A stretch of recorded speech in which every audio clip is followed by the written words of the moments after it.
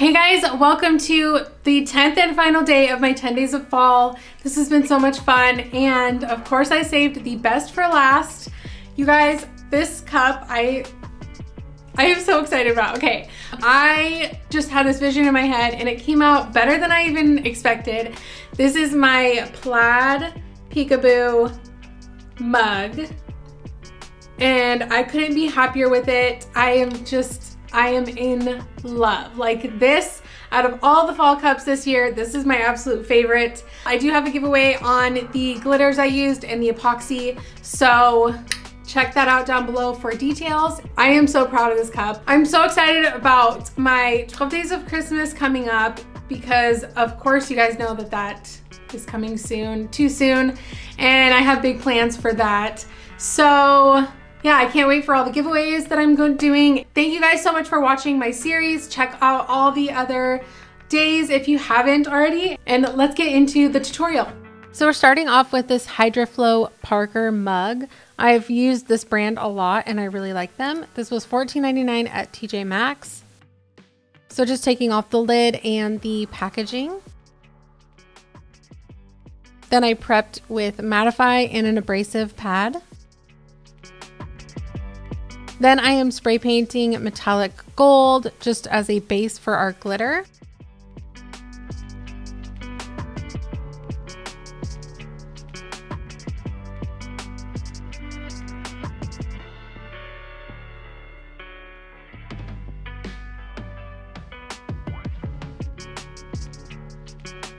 Then I ended up losing the footage from glittering the cup but honestly, this video is already really long and it's basically just using the epoxy method to glitter the cup.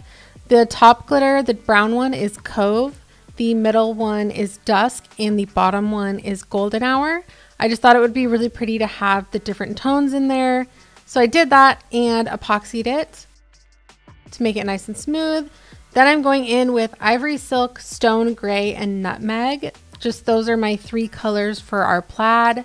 The first thing I did it was tape off the handle. I wanted the handle to just stay gold.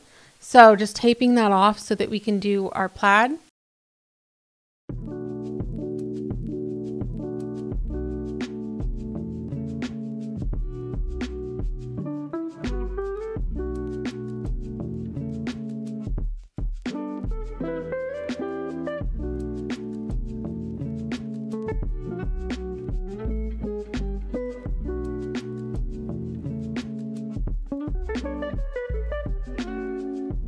Then we're making the base, the ivory silk.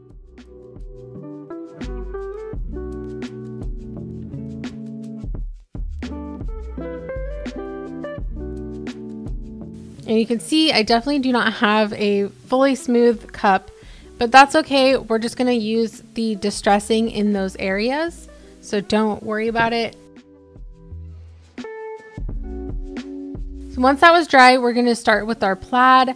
I am using two different sizes of the painter's tape so that it kind of gives us, it's not just like an even squared plaid, it kind of gives us those different shapes.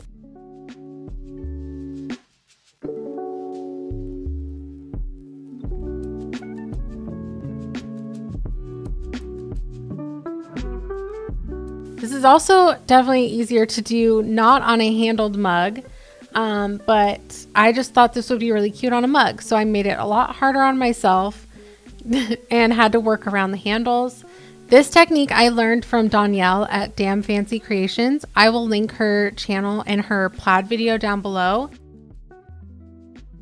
I had never seen a spray painted plaid until I watched her video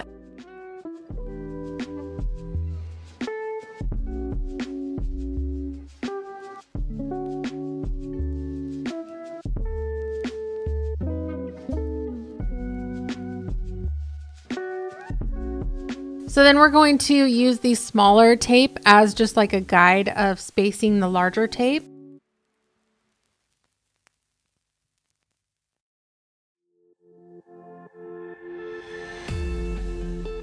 So you lay the next one down and then you peel up the smaller one and just continue to do that around the whole cup.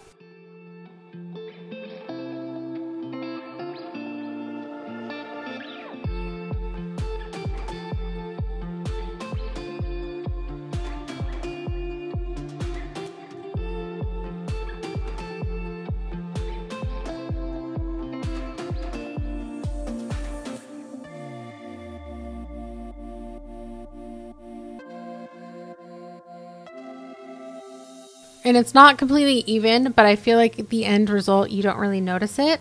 So I'm going to take that stone gray and we're just doing a very, very light coat of the spray paint. Just like a dusting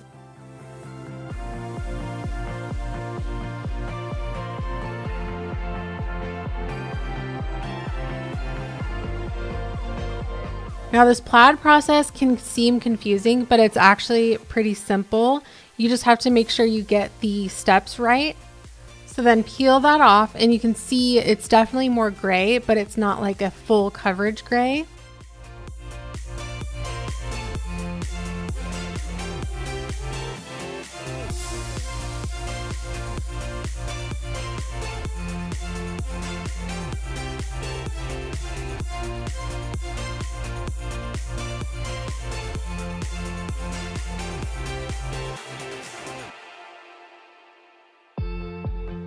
So next we're going to do the vertical stripes. So I'm using the larger one as the spacer and I'm just starting at the bottom.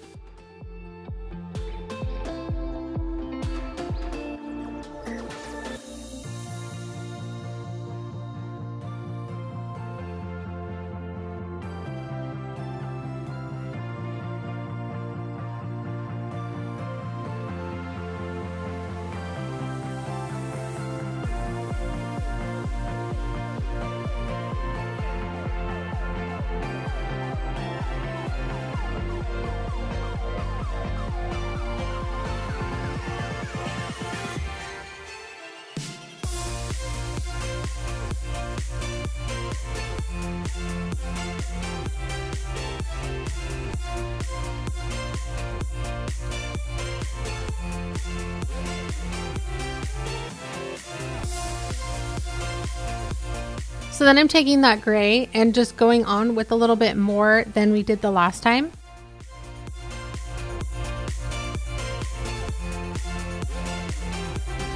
Also spraying the bottom a little bit.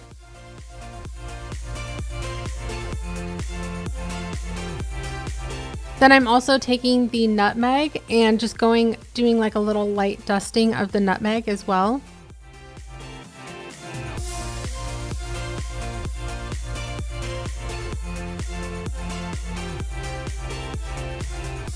So then our next step, you're gonna leave that tape on there and you're gonna replace the tape basically where it was on the first time we spray painted. So the lighter cream sections with the larger tape, we're replacing the tape back on there.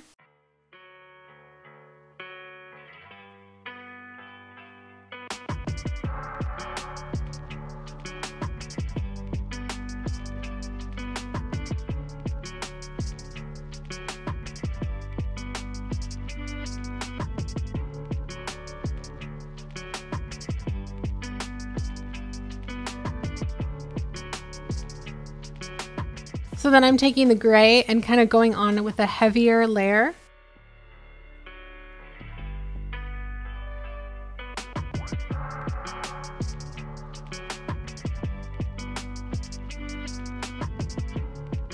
As well as the brown and going on with a heavier layer of that as well.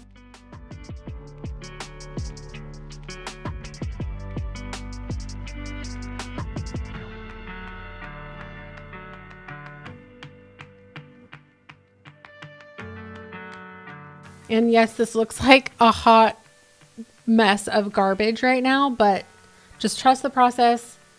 Once we peel it off, you'll see. So then just peeling off all the tape.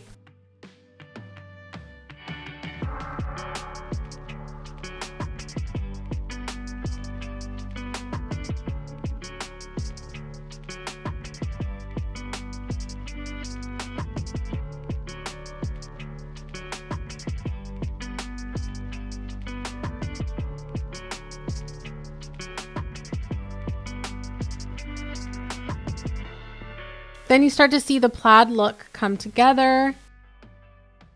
Now you could leave it at that. I just wanted to add like the little striping in between, but because this is a peekaboo, I couldn't do like pinstripes or um, like nail tape. I marked all the centers of the squares so that I knew where half the halfway mark was. And we're just doing little tiny lines to paint a darker brown.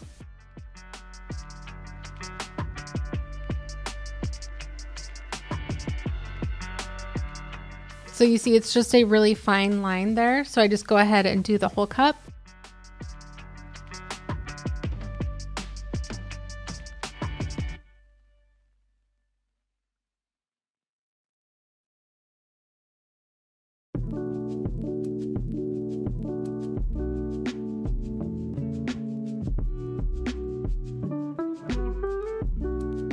Then I'm having to work around the handles again.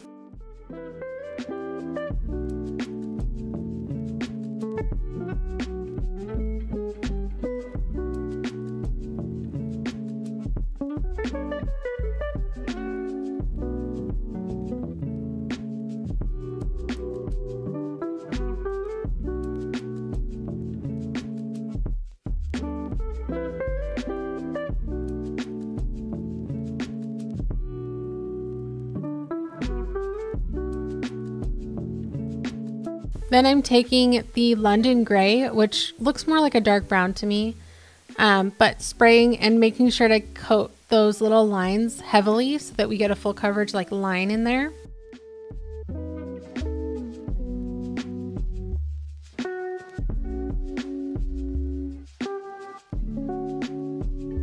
Then just peeling that off. And you can tell I definitely did not stick those down as well as I should have. Just make sure if you're doing these little lines that you really stick the tape down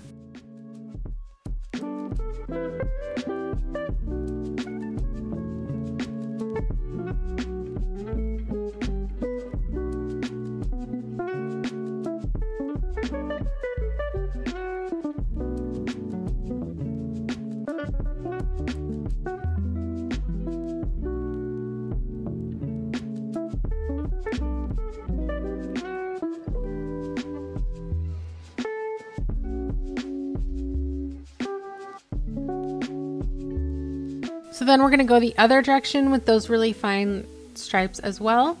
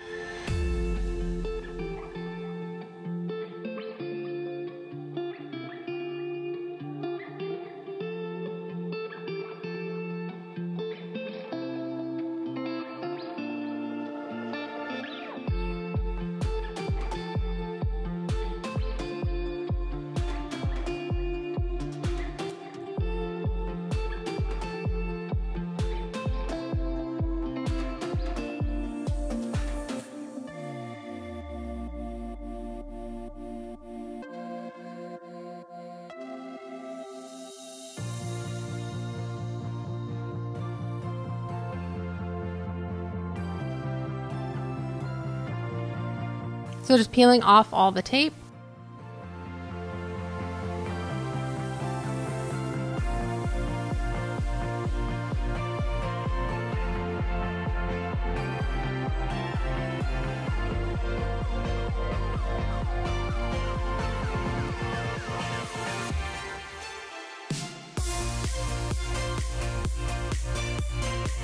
And I removed the tape from the handle as well since we're all done with spray painting.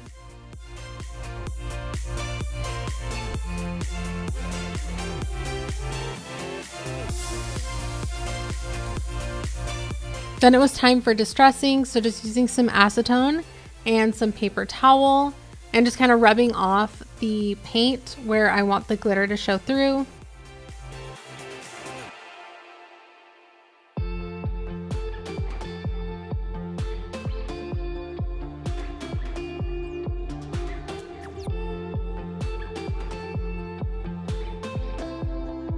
I always do the whole top rim and the whole bottom.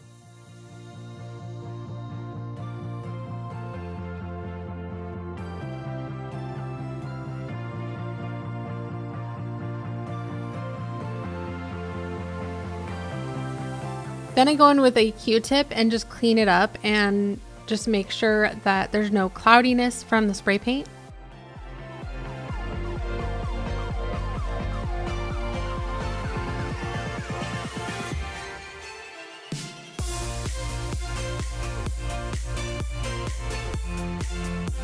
Then just anywhere the spray paint was not looking great is where I did the distressing.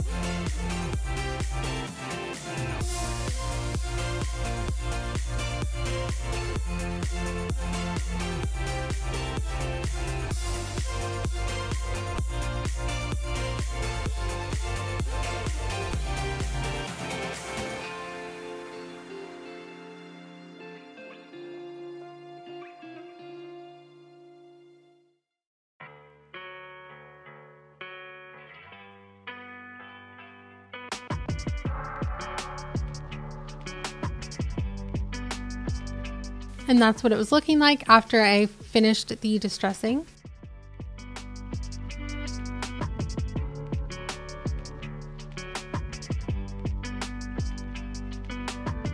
So then I did another layer of the epoxy.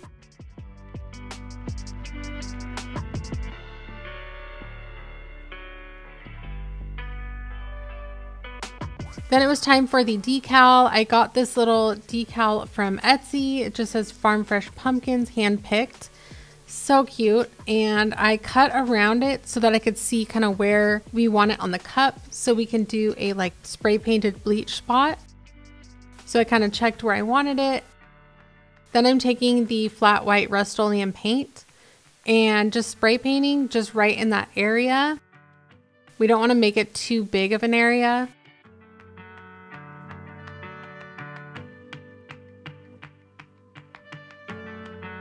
Then going on with that nutmeg, just like a little, just to give it a little hit of it so it's not pure white.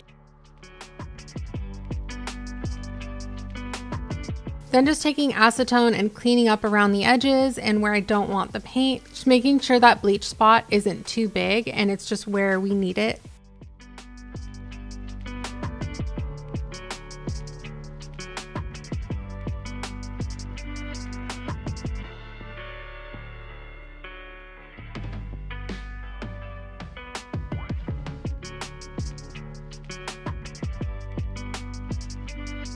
Then using my transfer tape to put the decal onto the cup. Sorry about this angle, I don't know what I was doing.